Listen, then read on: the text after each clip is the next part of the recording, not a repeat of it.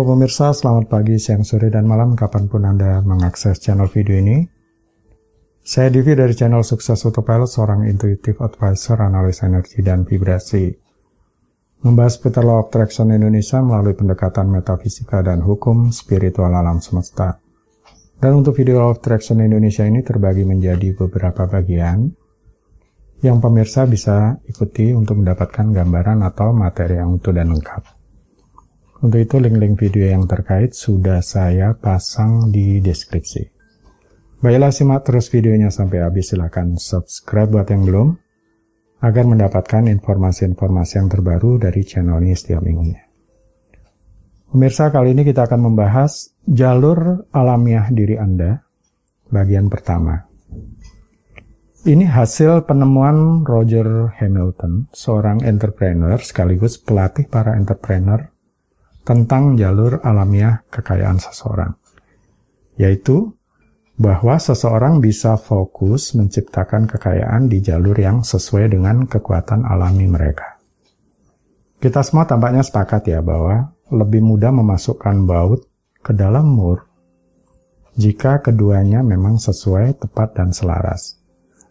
Walaupun tetap bisa memasukkan baut apa pun ke dalam mur, walaupun keduanya tidak sesuai, tapi itu akan membutuhkan usaha yang lebih keras dan lama. Juga hasilnya biasanya kurang maksimal atau memuaskan. Coba kita perhatikan setiap orang sukses yang dijumpai akan memberikan nasihat yang berbeda. Itu karena mereka memberikan saran berdasarkan jalur alamiah mereka yang belum tentu cocok buat Anda. Sehingga mengenali jalur alamiah diri sendiri mungkin menjadi penting. Bill Gates, pendiri Microsoft, adalah salah satu orang terkaya di dunia dengan karyawan hampir 60 ribu orang. Kemudian Warren Buffett, ketua Berkshire Hathaway, adalah orang terkaya juga, tetapi dengan tim beranggotakan hanya 14 orang. Kemudian Richard Branson, pendiri Virgin Group, salah satu pengusaha asal Inggris yang paling terkenal, memiliki lebih dari 200 perusahaan. Kemudian J.K. Rowling, penulis serial Harry Potter, telah menghasilkan banyak uang melalui enam buku dan satu perusahaan. Nasihat mereka tentang kesuksesan akan berbeda-beda, seperti halnya jalur alamiah mereka. Warren Buffett menekankan pemahaman rinci tentang apa pun perusahaan tempat dia berinvestasi. Dengan mengatakan, resiko adalah berasal dari ketidaktahuan yang Anda lakukan. Sedangkan Ray Kroc yang membangun McDonald's mengatakan, jika kamu bukan pengambil resiko, kamu sebaiknya jangan berbisnis. Siapa yang kita dengarkan dan nasihat siapa yang harus kita ikuti? Sadarilah bahwa itu bukan saling bertentangan ya, mereka hanya memainkan permainan yang berbeda. Sukses datang dari mengetahui permainan mana yang akan dimainkan. Dan kemudian memainkan permainan itu hanya permainan itu yang kita mainkan. Ya. Jadi tidak melakukan permainan orang lain. Atau tidak melakukan permainan sesuai dengan yang bukan tipe atau karakter kita. Masing-masing dari kita memiliki permainan yang paling banyak cocok dengan kebiasaan dan bakat alami kita. Jadi bagaimana kita mengetahuinya, permainan mana yang akan dimainkan? Setelah mencocokkan atau yang beresonansi dengan yang dijelaskan di sini, Anda kemudian bisa mengenali diri Anda berada di tipe yang mana. Kemudian pelajari strategi dari orang sukses yang memiliki jalur alamiah kekayaan yang mirip dengan Anda. Kemudian terapkan itu di dalam bisnis atau dalam membangun kekayaan Anda mulai sekarang. Satu tipe kreator. Kreator ini tidak bisa diam untuk tidak berkreasi. Mereka terus berkreasi lama bahkan setelah mereka kehabisan sumber daya, uang, dan kesabaran orang lain. Faktanya, mereka memiliki terobosan kreatif terbesar setelah kebanyakan orang lain menyerah. Banyak kreator kurang cocok untuk menjadi manajer karena mereka bekerja lebih cepat daripada tim mereka. Kreator telah mendelegasikan semua urusan, kecuali proses yang melibatkan kreativitas itu sendiri dan mereka biasanya fokus pada pembuatan produk baru atau perusahaan baru, bisnis baru sementara mengurus bisnis sehari-hari yang sudah berjalan diserahkan kepada tim. Ciri-ciri kreatif inovatif, suka hal baru dan tantangan baru.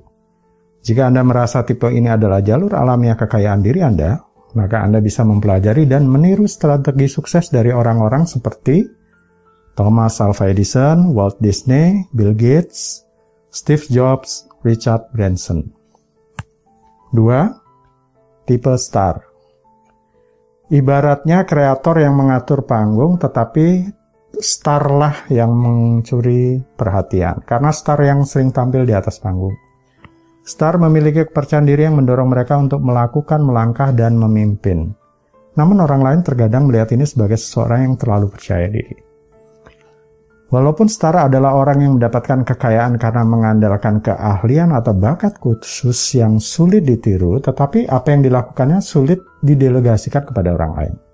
Oh ya, tipe star tidak selalu harus disamakan dengan bintang olahraga atau bintang rock atau artis. Ada star di industri mulai dari properti, media hingga perhotelan yang akhirnya jauh lebih kaya daripada penghibur paling berbakat dengan mengikuti strategi jalur alamiah star. Ciri-ciri bakat khususnya sangat menonjol, memiliki keahlian untuk menarik perhatian, sadar atau tidak sadar. Senang menjadi pusat perhatian, menonjol di bidangnya. Jika Anda merasa tipe ini adalah jalur alamiah kekayaan diri Anda, maka Anda bisa mempelajari dan meniru strategi sukses dari orang-orang seperti Oprah Winfrey, Arnold Schwarzenegger, Mike Tyson, David Copperfield. 3. Tipe support. Sementara tipe star sibuk bersinar, support sibuk memotivasi menggerakkan orang-orang. Tipe ini mendapatkan kekayaan karena mereka ahli dalam organisasi, melibatkan orang-orang, menggunakan sumber daya untuk mencapai sebuah tujuan.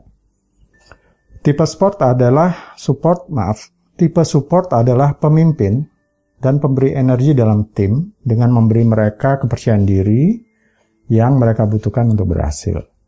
Tipe support bekerja sama dengan tipe kreator dalam membangun eksekusi bisnis yang efektif. Steve Ballmer yang memimpin Microsoft memberi Bill Gates ruang untuk berkreasi. Bahkan Bill Gates ikut ambil bagian dalam saham perusahaan si Steve Ballmer ini. Ciri-ciri memiliki leadership dan kemampuan manajerial yang menonjol.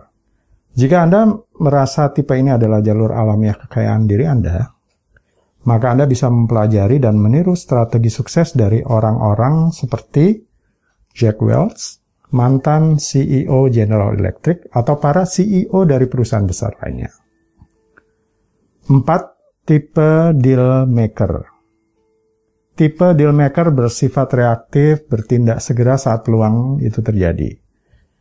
Dealmaker bisa ditemukan di industri maupun di properti, pada proses penggabungan dan akuisisi perusahaan atau bisnis hiburan. Dealmaker adalah penghubung yang hebat dan memahami bagaimana cara membuat dan mengembangkan jaringan untuk menghasilkan uang. Dealmaker mudah untuk membuat koneksi secara alami.